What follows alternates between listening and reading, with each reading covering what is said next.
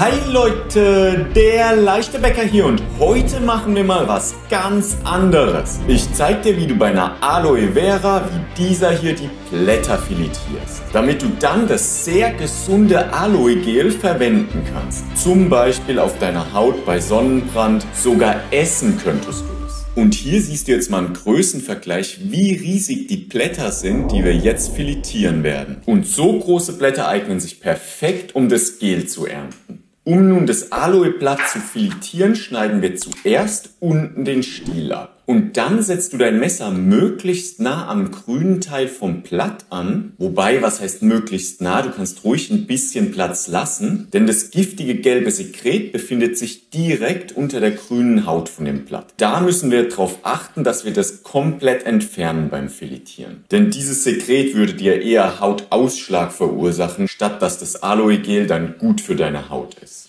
Und wenn du das Messer dann richtig angesetzt hast, dann führst du das komplett an der Haut von dem Blatt entlang. Und wenn die eine Seite gemacht ist, kommt natürlich noch die andere Seite dran. Und wie gesagt, du kannst ruhig großzügiger die Haut von der Aloe abschneiden, da sich darunter das hautreizende Sekret befindet. Dann noch die Seiten abgeschnitten und du bist quasi fertig. Jetzt kommt nochmal die Endkontrolle, wo du schaust, dass du wirklich alle Hautstellen von der Aloe entfernt hast und dass das komplette Gel vollständig transparent ist. Und wenn du wie bei mir noch Hautstellen findest oder gelbbräunliches Sekret von der Aloe, dann musst du das abschneiden, so dass das pure, klare Aloe-Gel übrig bleibt. Und nachdem dann alle Aloe-Blätter filetiert sind und du nochmal kontrolliert hast, dass auch wirklich keine gelbe Flüssigkeit, Hautstücke oder wie in meinem Fall Dreck dranhängen, ist das Aloe-Gel bereit, dass du es auf deiner Haut auftragen kannst. Gegen Sonnenbrand, zur Pflege, gegen trockene Haut, quasi wie Handcreme. Oder du könntest es sogar essen bzw. trinken, zum Beispiel in einem Smoothie. Dann zeige ich dir jetzt noch eine zweite Methode, wie du das Aloe-Blatt filetieren kannst. Du fängst wieder genauso an, schneidest erst den Rumpf von dem Blatt ab und dann schneidest du die Seiten mit den Stacheln ab. Jetzt lässt sich die obere und untere Hautschicht der Aloe deutlich leichter entfernen. Daher bevorzuge ich ein Aloe-Blatt auf diese Art und Weise zu filetieren. Wenn du die Aloe-Filetstücke so nicht verwenden willst, kannst du auch hingehen und die Filetstücke zu quasi, ich sag mal, Soße verarbeiten.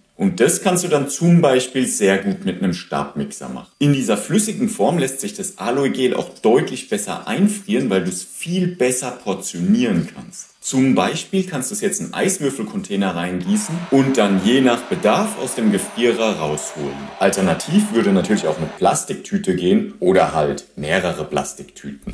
Das Einfrieren hat halt den Vorteil, dass das Aloe Gel mehrere Jahre haltbar ist, während im Kühlschrank die Haltbarkeit lediglich ein bis zwei Wochen sind. Du solltest dein Aloe-Gel auch immer möglichst luftdicht verpacken, denn ansonsten fängt es an zu oxidieren und dabei wird das Aloe-Gel dann bräunlich. Das hat aber keinen Einfluss auf die Wirksamkeit davon. Und wenn du dann noch Zitronensaft in dein Aloe-Gel gibst, kannst du die Oxidation dadurch verlangsamen, denn die Säure und das Vitamin C da drin sind ein Oxidationshemmer. Und was denkst du über diese andere Art von Video? Hat dir das Video gefallen? Lass mich das gerne in den Kommentaren wissen. Falls du noch kein Abonnent bist, denk mal drüber nach, diesen Knopf zu drücken. Über ein Like würde ich mich ebenfalls sehr freuen und dann sehen wir uns im nächsten Video.